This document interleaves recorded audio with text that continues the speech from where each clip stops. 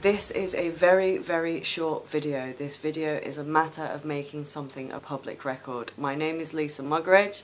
I am not connected with Glinner, um, Graham Linehan, who is a writer for television, or with Posie Parker, outside the connection that has been forced by the fact that we are all part of, you know, we've all been targeted by trans activists. I live in West Yorkshire.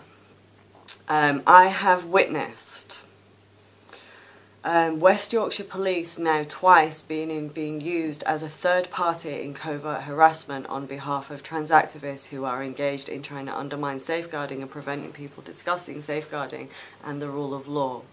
In addition to the 50,000 women targeted systematically on Twitter, in addition to the threats and the harassment that we are all targeted by for speaking up on this issue, I am deeply concerned that it is evident that West Yorkshire Police Force are currently not only disregarding basic safeguarding, are not only attempting to use their weight to pressure citizens in this way, but that they are being used very clearly as a third party in harassment of individuals discussing trans ideology and safeguarding.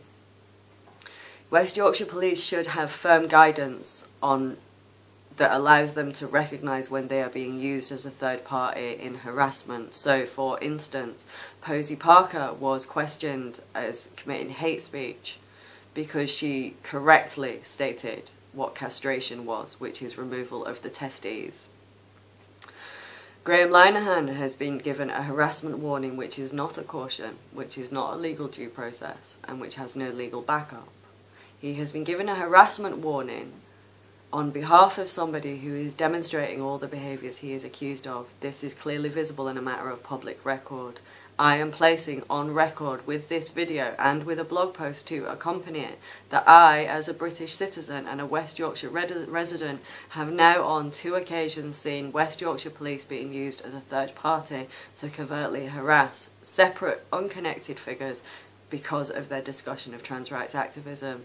And I believe that the time to treat them as a benign intermediary is over, and I think we have to be looking at them as part of the network of organisations around MESMAC and around Mermaid's Gender. Mermaid's Gender. Um, that's really all I have to say. I'm putting this on record. I'm leaving it where it is.